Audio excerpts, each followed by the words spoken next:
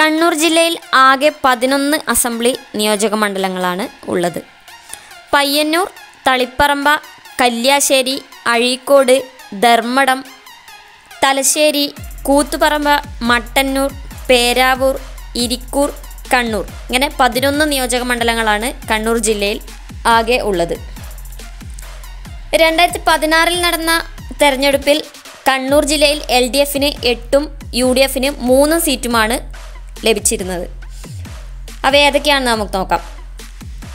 അഴീക്കോട് പേരാവൂർ ഇരിക്കൂർ മണ്ഡലങ്ങൾ U D എഫിനും പയ്യന്നൂർ തളിപ്പറമ്പ കല്യാശ്ശേരി ധർമ്മടം തലശ്ശേരി കൂത്തുപറമ്പ മട്ടന്നൂർ കണ്ണൂർ മണ്ഡലങ്ങൾ എൽ ഡി എഫിനുമാണ് രണ്ടായിരത്തി പതിനാറിൽ നടന്ന തെരഞ്ഞെടുപ്പിൽ എൽ ഡി എഫിന് ലഭിച്ച സീറ്റുകൾ. ഇനി രണ്ടായിരത്തി ഇരുപത്തൊന്നിൽ വരാൻ പോകുന്ന നിയമസഭാ തെരഞ്ഞെടുപ്പിൽ എൽ ഡി എഫിന് ഒൻപതും യു ഡി എഫിന് രണ്ടും സീറ്റുകളാണ് ലഭിക്കാൻ സാധ്യത കൂടുതൽ. അത് ഇരിക്കൂറും കണ്ണൂരുമാണ്. ഇരിക്കൂറും കണ്ണൂരുമാണ് യു ഡി എഫിന് ലഭിക്കാൻ സാധ്യതയുള്ള രണ്ട് മണ്ഡലങ്ങൾ എന്ന് പറയുന്നത്. ബാക്കി വരുന്ന ഒൻപത് മണ്ഡലങ്ങളും എൽ ഡി എഫിനൊപ്പം നിൽക്കാനാണ് സാധ്യത കൂടുതൽ. അങ്ങനെ വരുമ്പോൾ പയ്യന്നൂർ തളിപ്പറമ്പ കല്യാശ്ശേരി അഴീക്കോട്. അഴീക്കോട് രണ്ടായിരത്തി പതിനാറിൽ യു ഡി എഫിനൊപ്പം ആയിരുന്നു ഉണ്ടായിരുന്നത്.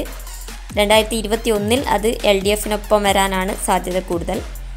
പിന്നെ ധർമ്മടം തലശ്ശേരി കൂത്തുപറമ്പ് മട്ടന്നൂർ പേരാവൂർ എന്നീ ഒമ്പത് മണ്ഡലങ്ങളാണ് എൽ ഡി എഫിന് ലഭിക്കാനുള്ള സാധ്യത കൂടുതലായി. രണ്ടായിരത്തി ഇരുപത്തി ഒന്നിലെ നിയമസഭാ തെരഞ്ഞെടുപ്പിൽ സാധ്യത കൂടുതൽ.